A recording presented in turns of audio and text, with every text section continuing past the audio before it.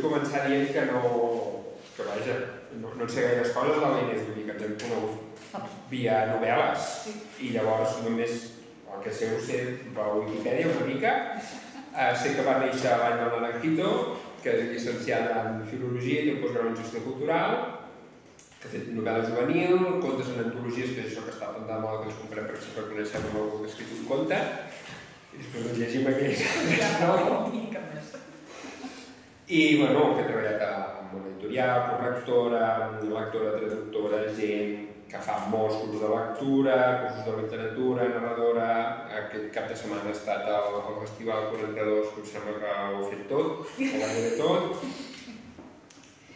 I col·laboro amb la Vanguardia.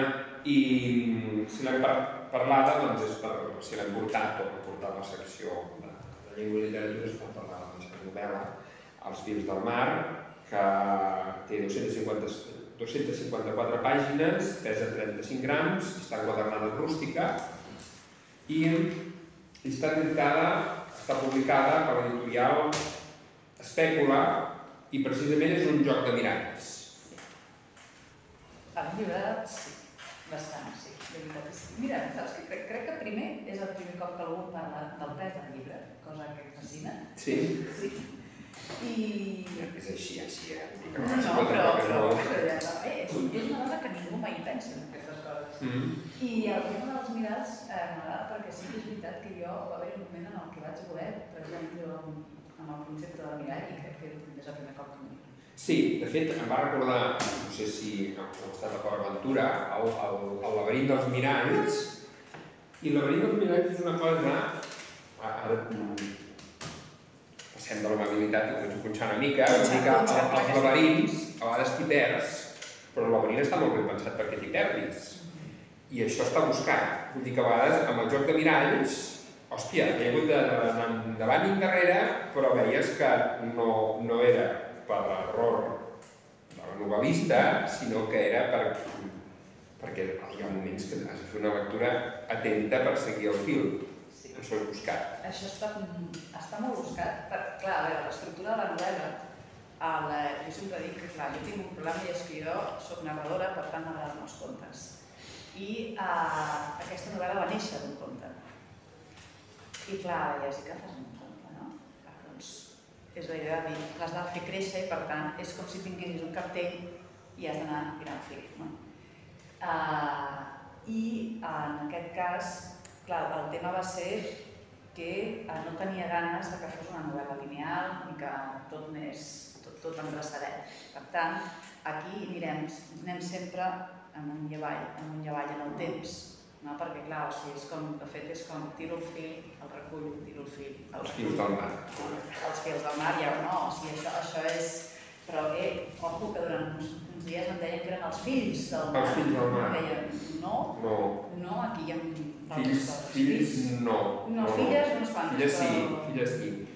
De fet, jo he comptat quatre, potser m'he descomptat també, m'he perdut amb alguna sala d'aquest laberint, fins, fins a quatre moments temporals. No sé Sí. si me n'he descomptat cap. Tenim, a veure, ara, ara, ara No, no cal que el repassem, Ara però... fas, ara fas a mi, a veure, Sí. a veure, tenim el moment de la grimpada de la Janira, Perquè, ho explico, ho explico jo, si vols, és tornar una protagonista al seu poble 20 anys després i recorda històries, que són totes aquestes. tenim la tornada, per tant tenim aquest moment, tenim el moment de l'Eire i l'Àlix, que és un Mhm. passat, tenim el moment de l'Eva, la mare i... i, i, i un nom, eh, que és un altre passat, i ja passem al moment de la Xènia, l'Ona, i per tant teníem o sigui, les, tres, les tres històries principals de dones, no? cadascú aquesta noia que ha tornat i que les va recordant. Per tant, tenim un, un present que està dividit, que comença i que acaba la novel·la,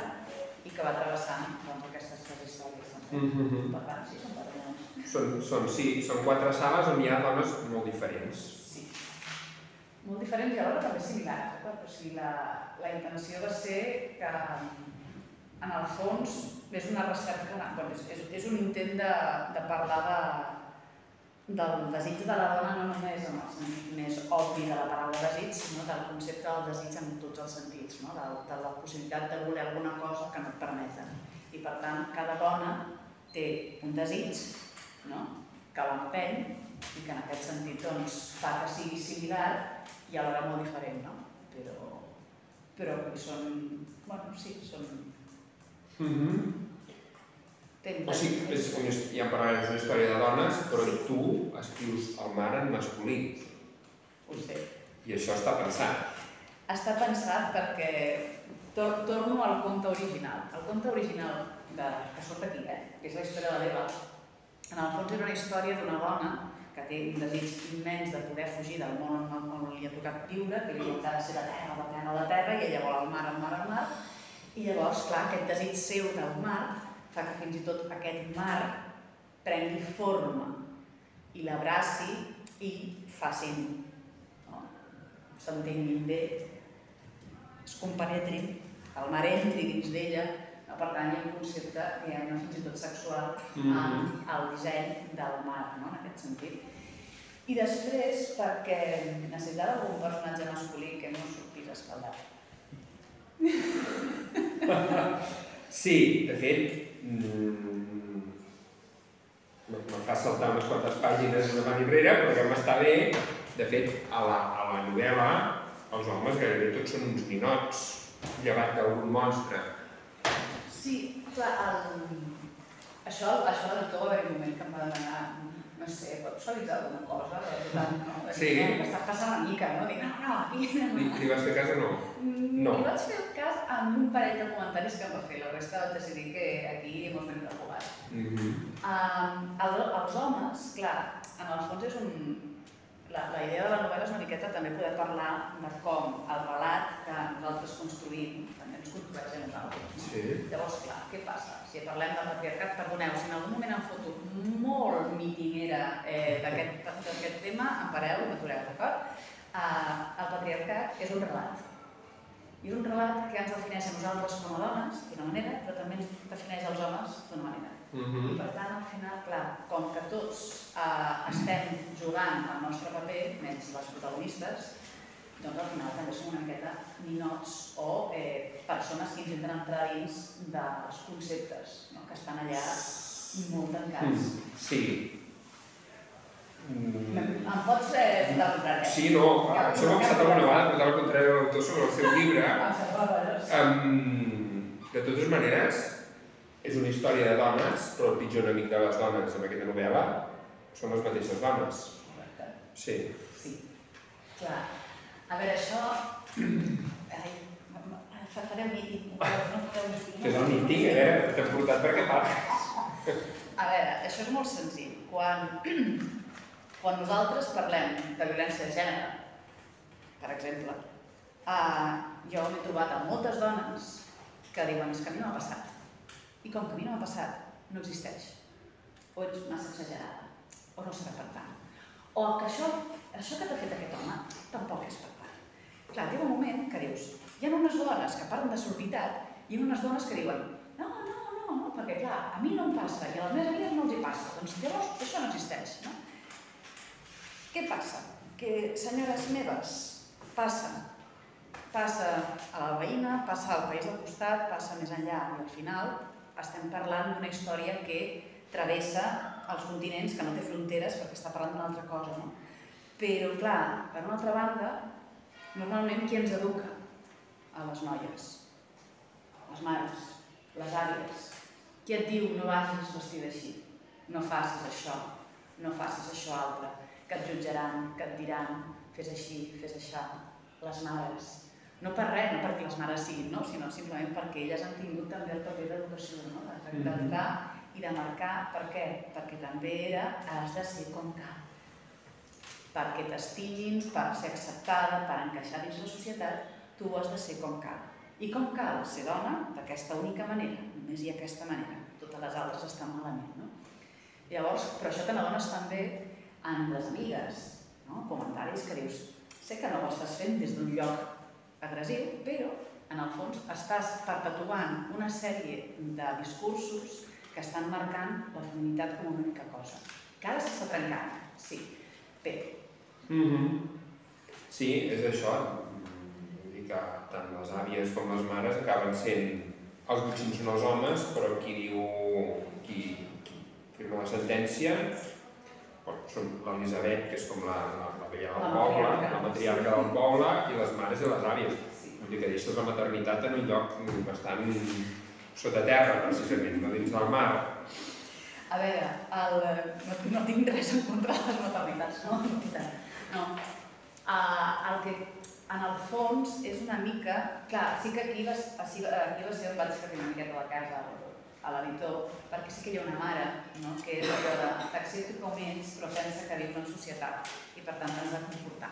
Mm -hmm. No? Llavors és aquest punt que, clar, o sigui, um, al final, um, què passa? Això és, això és una cosa que m'han comentat moltes, moltes lectores, que, que diuen, si jo hagués tingut aquell llibre quan era adolescent, otro gato, otro gallo hubiese cantado. Per què? Perquè, clar, insisteixo, les coses estan canviant moltíssim. Tenim una generació de noies que estan molt empoderades i que són molt lluitadores i que defensen molt el seu, la seva individualitat. Però durant molt de temps, sobretot a la meva generació, a nosaltres ens van aixecar moltíssim, no? I, insisteixo, estem parlant del desig de ser, del desig d'estimar o del desig de moltes coses que ara comença a existir i ara comença a ser obert, però que durant molt de temps estava completament ofegat i això ho havies d'amagar, si vols ser això amaga, o si et comportes així ho amagues, no? O sigui, és... I en el fons és també una miqueta parlar de la idea del grup, de la societat, no? O sigui, quan, si, tu, si a tothom pensa A, Mm -hmm. encara que tu pensis bé perquè tu no t'apellissin, doncs diràs A, Sí. no? I una miqueta també és jugar amb això. Sí, l'altre punt és això que dius tu, el desig, el desig de, de ser, el desig d'estimar.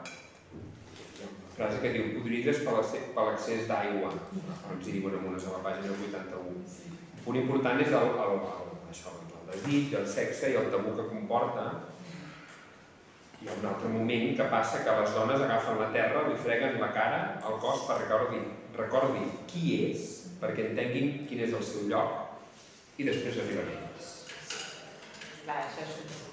Sí, aquesta, aquesta escena, sí, em vaig, em vaig recrear una mica, sí. Bueno, sí, de totes maneres us he de dir que és una novel·la que avança i avança molt ràpid, vull dir que no, no t'acostumes a recrear en cap escena, No, vull dir que això s'agraeix, vull dir que, ja us ho he dit, és com entrar en un laberint, el laberint no, no, no et quedes esperant no, no. què passa, sinó que vas avançant pels passadissos per, per mirar de trobar el què. Tot i que no, no us vull espantar, eh? no, no, no et perds, no, no és laberint. És laberíntic però no et perds. Vull dir que els passadissos que porten no et portant de portar. Hi ha un fil de viatge, exacte. I amb això, dintre d'aquest fil, veiem diferents maneres de- d'acceptar doncs, el desig o el sexe. Vull dir que tenim tot un, tot una sala, un retaule de dones, i veiem diferents maneres, és molt interessant, diferents maneres de, de com s'accepta el desig, de si l'acceptes o el rebutges. Clar, el, el tema aquí és també el, agafar una, també una miqueta això del, del, del tema de l'aigua de la terra, no? Clar, també deia, ostres, per què, què li tens mania a la terra? Dic, no, no, la terra em- em sembla meravellosa i, i benvinguda sigui i ben trepitjar-la, no? Però clar, era un joc amb el fet de que, clar, si a tu et diuen que l'únic objectiu de la teva vida com a dona és ser mare, això vol dir que has de fer arrels, no? has de crear una casa, has de crear una família. Per tant, arrels. Les arrels on creixen, sobretot, a terra. No? Per tant, t'has de quedar a terra. En canvi, el mar va i ve, canvia, eh, és perillós, és agressiu, et pot donar de menjar però pot, pot treure la vida, no? O sigui, per tant, el mar és una cosa que pot ser doncs, com molt, que espanti molt. No? Per tant, l'aigua és dolenta, la terra per les dones és la bona, no? s'han de quedar allà. Què passa? Que clar, si eh, tu acceptes que no vols això que et diuen, hi ha conseqüències. Mm -hmm. Per què? Doncs perquè, clar, el, una de les coses que a vegades passa quan, quan tens certes diferències o quan t'han passat certes coses, no? o sigui, és molt fàcil de parlar de, de les ferides, diguem-ne, òbvies, això passa amb les malalties també, no? o sigui, la malaltia física és clara, trenques una cama, tothom ho veu, tens una malaltia mental, la gent fa, hmm, no? Amb certes violències, hi ha algunes que es veuen, però moltes altres no es veuen, no? I moltes ferides no es veuen. Llavors, què passa? Que hi ha tota una sèrie de... O sigui, jo tenia moltes ganes de que tot aquest, aquest dolor es pogués veure. I clar, aquí és on jugo amb una cosa que sé que ha estat una miqueta peculiar, perquè es pot entendre de dues maneres, perquè el cos de la dona que pateix també es transforma. No? O sigui, el seu desig fa que ella es transformi i per tant això li provoca un patiment, perquè són incapaços d'acceptar els que són diferents. I per tant, doncs, hi ha conseqüències. Mm. Llavors has dit que, que has parlat de les arrels, llavors diríem aquella frase de qui perd les arrels perd l'identitat, però... Sí, no. No? Clar, depèn, clar, el, aquí el tema és que pots construir les teves arrels. Una de les imatges que a mi m'agradava molt, del, o sigui, jo, jo m'agrada molt tot el que és metafòric, simbòlic i així, no? I em passo la, la novel·la amb aquesta noia enfilant històries, i aquestes històries, clar, en el fons, creen una xarxa. No? O sigui, totes les històries d'aquestes noies estan comunicades entre elles. Per què? Doncs perquè neixen una miqueta d'aquest desig seu. No? Tens uns cors que bateguen per la terra i coses així, esto és muy, muy mío, perdó, però d'aquests cors, doncs, d'aquestes coses que bateguen, aquestes històries que bateguen, es van teixint fils i es teixeixen unes xarxes. No? Això en el fons també és unes arrels.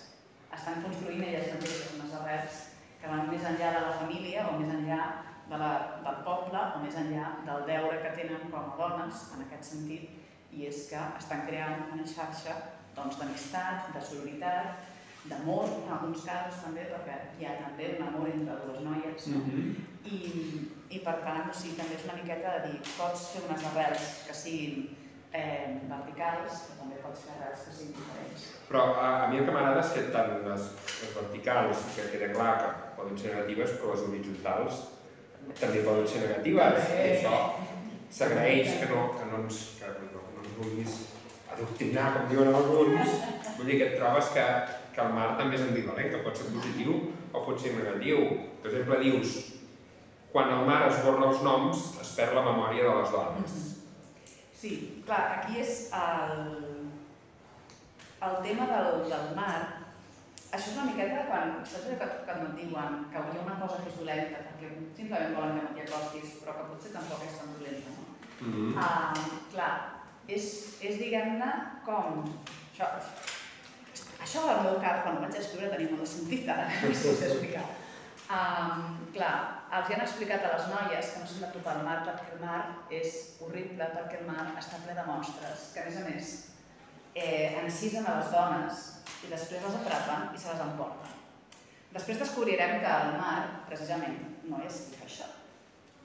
Però, bueno, estem spoilers. Però, eh, què passa?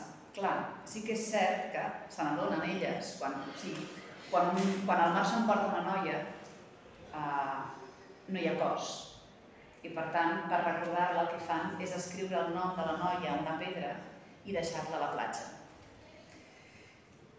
Els hi expliquen perquè vegin què xungo que és el mar, que el mar fins i tot s'emporta el nom i la memòria d'aquestes noies perquè les borra completament i no para de mai més. Què passa? Que això, en el fons, també és eh, demonitzar el mar, no? perquè necessiten demonitzar el mar, alhora doncs que no, el mar desgasta, el mar s'emporta, però alhora quan el mar s'emporta, i aquí és on entra el cervell de la McPherson, que fa coses rares, doncs la idea de que, clar, que s'ho emporta no perquè ho esborri, sinó perquè ho acull i ho fa seu. Jo sempre he dit que eh, o sigui, probablement el mar sigui el lloc on hi són totes les històries, perquè el mar ha, ha tocat totes les terres, ens hi fiquem a dins, per tant, ens llegeix a nosaltres, llegeix les roques, llegeix els vaixells, llegeix els animals, llegeix tot i per tant està tot ple d'històries. No? I la meva idea era doncs, que en el fons s'apropiava d'aquestes dones però no com una cosa d'esborrar, sinó per fer-les seves. Doncs pues així, una mica. però... Um, de fet, és, és un, es diu els fils del mar i parla del mar, però no ben poca estona es passen al mar. Mm -hmm. Vull dir que el mar sí que serveix molt com a, com a excusa, com a control social. Diuen, amb una altra mà, i es, i es repeteix com a mantra, i ara aquesta frase no sé si és teva o és meva, perquè no, no he posat cometes, diu, el mar és abundós si les noies es porten com cal. Crec que no t'ho No, això seu. Això és meu. Això passa per escriure. Passa això, al, al mar Sí. només el veu positivament si les dones Es comporten, es comporten. tal com s'espera d'elles. O sigui, clar, el, el, diguem-ne que la història, hi ha, hi ha una de les històries que, mm, en el fons, quan construïm una, o sigui, quan construïm la nostra història, sigui personal o sigui social, anem tirant cap endarrere i agafem un concepte no? i el- i el- i l'establim com una cosa que és. No? Llavors, clar, imagineu-vos que doncs, porteu una època en la que el mar no us està donant menjar, perquè les xarxes surten buides. I a més a més hi ha tempestes i hi ha vaixells que s'enfonsen. Clar, això és un problema i no sabem què passa i no sabem què passa. Hi, hi havia èpoques en què doncs, es feien sacrificis de xais als déus del, del cel i del mar. En aquest cas pensen, ostres, hi ha algun problema. I llavors descobreixen una cosa i aquesta cosa, per invencible que sigui, decideixen qui és el culpable del que passa.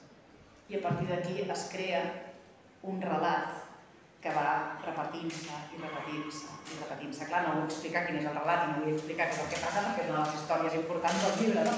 Mira, sí. Aquest llibre m'ha recordat molt i, i, i, i em sembla que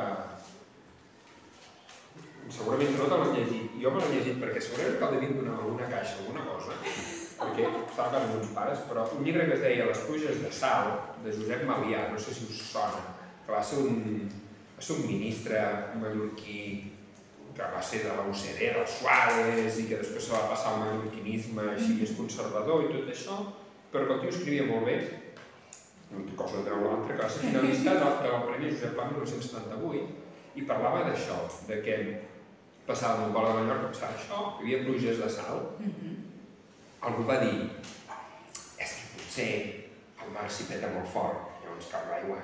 I No, no, no, això no. Això és que esteu, estem fent alguna cosa malament, com a societat. I m'ha recordat molt això, per edat ja m'he imaginat que no, no tal. I, però és molt interessant això de que mm, a vegades va molt bé que hi hagi un problema a la societat per mm, poder tenir unes eines de control social. I és fort això, que anem, anem repetint les històries perquè potser la teva novel·la avança, però potser la història nostra humana no avança. I el que va escriure aquest senyor l'any 78 s'escriu el 2022 i continuem veient la societat igual de que ostres, hi ha un problema en un poble tancat que a vegades pot ser una, Sí. una ciutat o un país com estem veient ara, un, un estat que es pensa que és modern, que pot ser, tan, que pot ser tancadíssim i buscar excuses per no haver d'avançar i per autoculpar-se. Clar, és... A veure, el... jo una, una de les idees que, que apareixen a la novel·la i que, aquí ha estat tan subtil que això potser només ho jo, és que hi ha una intenció de repetició. No? Hi ha un moment en què es parla d'un altre poble que va i que passen coses similars. No? Per què? Perquè al final, què passa? Si nosaltres Sempre es diu que som una espècie molt intel·ligent, que si sabem història aprendrem moltes coses i no cometrem els mateixos errors. Ah, que vingui algú que em, em, em expliqui quins, altres, quins errors no estem cometent iguals. No? Avancem tecnològicament, avancem de moltes maneres, però hi ha uns comportaments que seguim repetint. Llavors, què passa? Que clar, el tema al final és una miqueta aquesta, aquesta, aquesta cosa que els polítics ara utilitzen molt i els periodistes encara més, que és el tema del relat. No? Qui té el relat té el poder. No? El meu relat ha guanyat el relat de l'altre, i no estem parlant de concursos literaris. No? Uh, I llavors aquí, clar, què passa? Que si jo utilitzo un relat on tinc un culpable molt clar, jo tinc tot solucionat. Ho tinc completament tot solucionat, perquè o sigui, eh, que hi ha un problema, pam, culpable, que hi ha un sé què, culpable, no? I d'aquesta forma, clar, o sigui, tens control social i a més a més estableixes una cosa que com que es repeteix tant, es converteix en llei. Que això és una cosa que eh, aquí sí que a mi m'agrada molt quan, quan, quan parlo de, del que escric, també poder dir eh, referents que, sí, que soc molt conscient que he agafat i posat. No? Doncs no sé si coneixeu el relat de la loteria de la Shirley Jackson. No, no, no sé si ho del públic jo. És un relat on... Eh, a veure, la Shirley Jackson pensem que una escriptora que va començar a escriure coses en una revista i sempre parlava dels veïns i coses així com molt quotidianes i per tant tothom es va pensar que era una senyora que parlava de la seva família. I un dia va escriure la loteria. Va rebre no sé quantes centes cartes dient-li que era una boja, que on havia passat això, que, que li diguessin en quin poble dels Estats Units passava això. És un conte, perdoneu, me, me lo voy a cargar, però perquè ho entengueu, no? És un poble on tenim una societat que és molt petiteta, però que se suposa que a tots els Estats Units, a tots els pobles, es fa això, es fa aquesta loteria. És una loteria on eh, tot el poble hi va i eh, s'escull una persona. Direm que el que guanya no és precisament una cosa maca. Però, què passa? Que ningú sap per què es fa. Sempre s'ha fet i ningú es qüestiona per què es fa, sempre s'ha fet. És la tradició. I com que és la tradició, ningú qüestiona. És allò de, no mira, anem a agafar una persona i anem a tallar el peu. Per què? Doncs perquè sempre s'ha fet. Dius, ja, però serveix d'alguna cosa? És igual, sempre s'ha fet, no? I és una miqueta doncs, doncs aquest punt, no? de, de, de donar-te'n que si tu has estat sempre explicant que la dona o que l'home o que l'home de ser així, que la dona de ser així, al final això es fa llei i ningú s'ho qüestiona. Hòstia, és molt fort, ara m'has fet recordar, i ara no, no puc googlejar, que hi ha, hi ha un poble de Castella, mm -hmm. on ara és una festa tradicional, d'interès nacional i tot això, però el que feien en el passat era dir-li a algú una vegada a l'any, obrirem la porta del passó i dir, ets lliure, escapa. S'escapava, però hi havia el poble esperant-lo, la gent esperant-lo, i li donava l'oportunitat d'escapar, i, i no, no, no, no, no arribava a escapar mai i el que li passava no era maco. I m'ha recordat amb això, i ara, lògicament, que és una festa i, i, i n'hi ha un que corre, l'enxampen i tots ah, i s'ho passen molt bé i veuen molt bé com si fos una festa, coses d'aquestes, però venia d'això. I m'ha fet pensar de que no són tan diferents els humans, eh? jo estic segur que, que aquesta senyora no coneixia pas aquesta història. Però, però alguna cosa similar segur que havia vist. Segurament, sí, sí. Um, també passo un, un, punt, un punt important, és el sexe. Mm -hmm. Ja estem amb una... Dius, el gust del mar contra la llengua. S'estremeix el plaer de l'aigua, que s'endinsa en ella i es barreja amb la caneix del seu, del seu interior i, i que s'escola cap a les onades. Hi ha aquest a la novel·la hi ha, hi ha aquest, aquesta negació del propi desig. Sí, és... Avui dia encara ho està descrivint i et preocupa això. És que, a veure, insisteixo, ara per sort la cosa ha canviat, però fins fa quatre dies el desig femení era com una cosa que era... Bueno, ah, però existe, eh? però el plaer femení existeix, eh? però és una cosa real. Ah, però ah, sí, ah, però hem de sentir plaer. Ah, hem de consentir. Ah, sí, no? aquest tipus de coses que sembla que encara s'hagin d'explicar, no? Però clar, el, el tema era que, clar, si tens una societat molt tancada, on a més a més et diuen que només pots ser d'una forma, uh, i a més a més et diuen que com, o sigui, clar, és, si, sents, si, si sents desig, si el mar et visita és que sents desig, i això és un perill, és un problema, perquè vol dir que el mar et vol atrapar, no?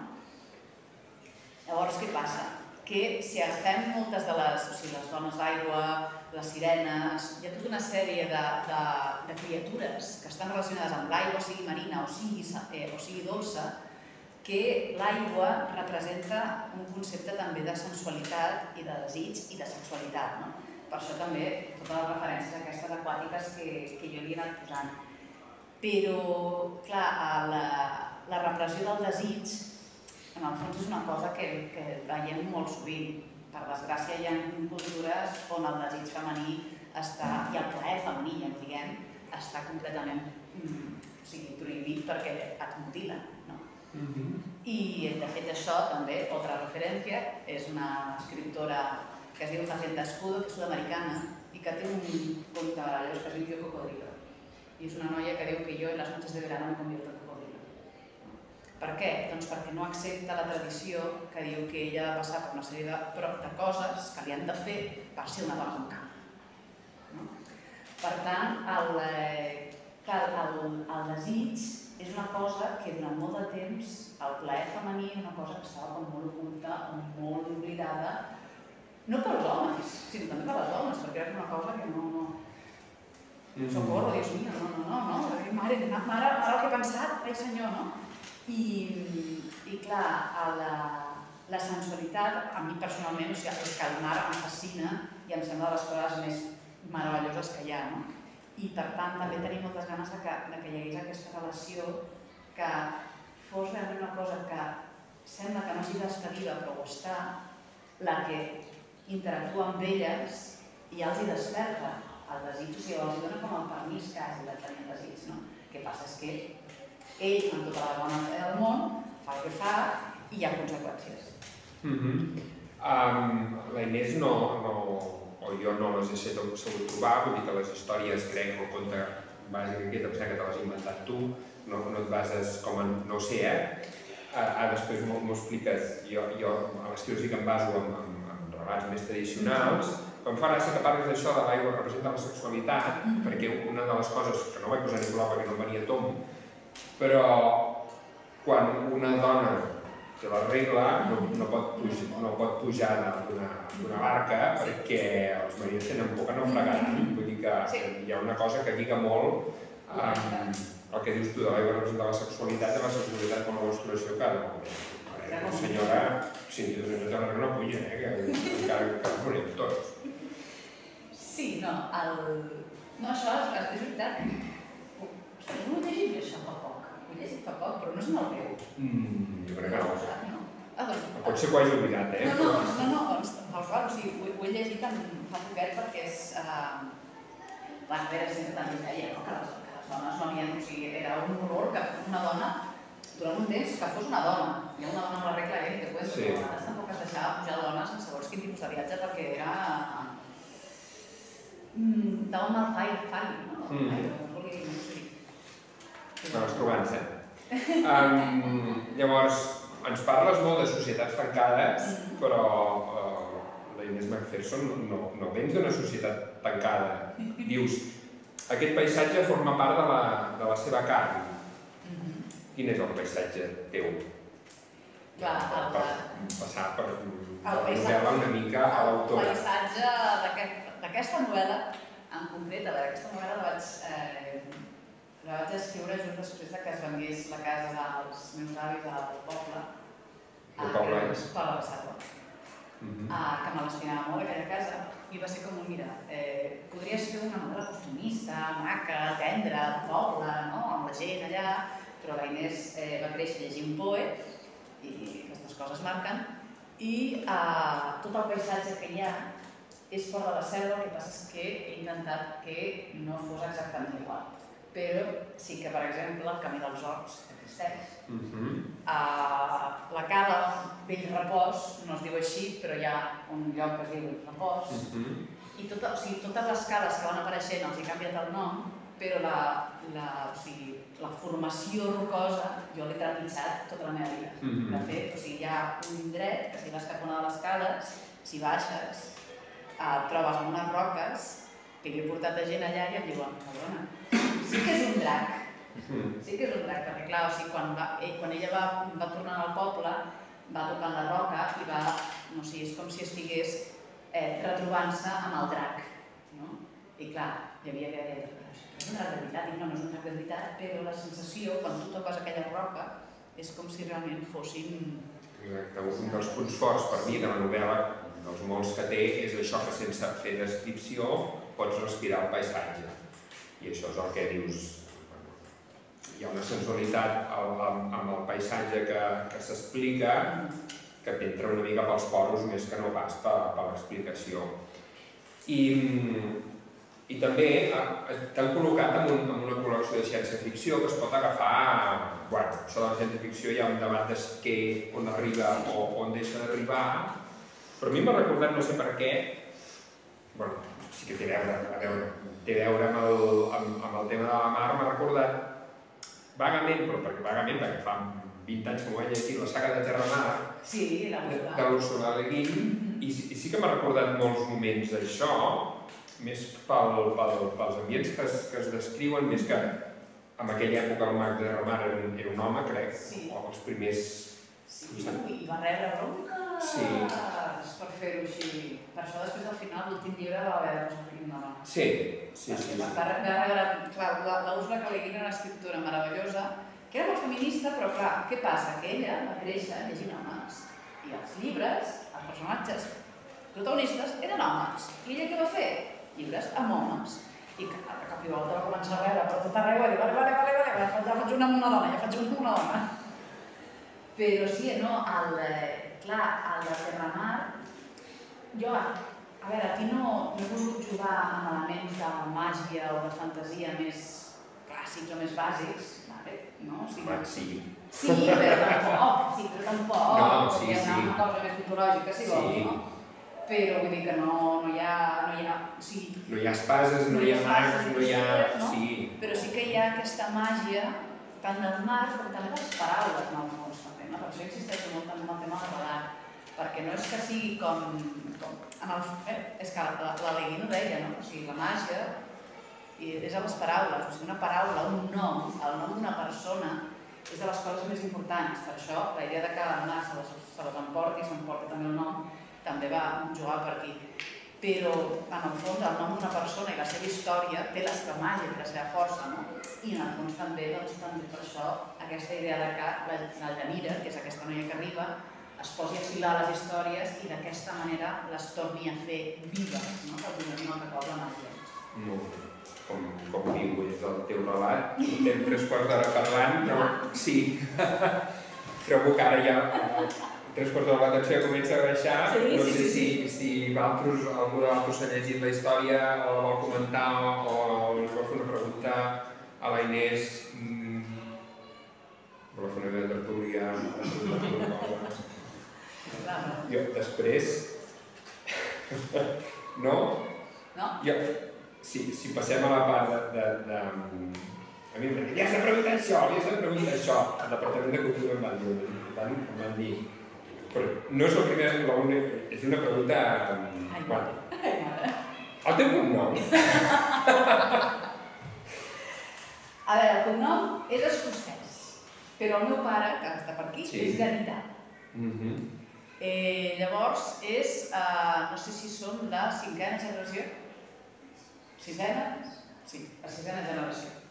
Un escocès va decidir que Escòcia era molt maco, que uns paisatges preciosos, que les Highlands no, hi- no, hi, re, no hi ha res com les Highlands, però que s'estava millor al sud d'Espanya, que feia més caloreta, eh, que no hi havia whisky però hi havia xerès, i eh, es va instal·lar per aquí.